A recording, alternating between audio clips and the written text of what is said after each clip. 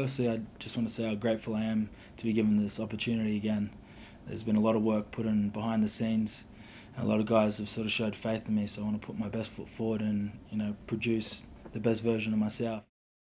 The last time I returned, I thought I was ready to repair some of the mistakes I made, but also I guess reach my rugby potential. But yeah, it was too rushed. Uh, I didn't recognise how much pain I was still in, sort of mentally. But in saying that, look, I wouldn't change it because that led me to meet some of the mentors I have in my life now, and also started my journey of, I guess, understanding what my true self is and just what a privilege it is to play rugby. Like I, I understand now that uh, rugby is a gift, and all I want to do now is use my journey back to inspire possibly other young men out there who are a bit lost in the world and um, like I was. I think 12 is my position. Uh, I've been playing there the last sort of two years and I'm most comfortable there. I think just the way I've sort of developed being sort of overseas and, and my sort of style of play, but also I'm a bit of a nugget now, so I fit in there quite nicely.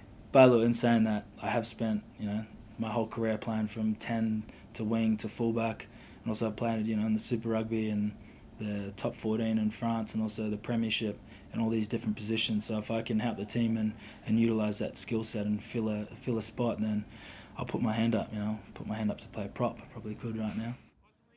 I'm a Queenslander. I was born there. I started playing rugby there. It's where the the dream began. But I think uh, a big part as well is I think I owe you know Queensland the best version of myself you know, like I said, I came back last time and I probably wasn't the well, I definitely wasn't in the best place mentally, but also physically, I was I was quite broken, so I couldn't produce and perform the rugby that I you know that I wanted to for for the team. So you know, for me coming back, I just want to you know give my best energy and be that best version of myself, and if I can help the team get back to the top of the sport, and you know if we can bring success back to Queensland, then that'd be a dream for me.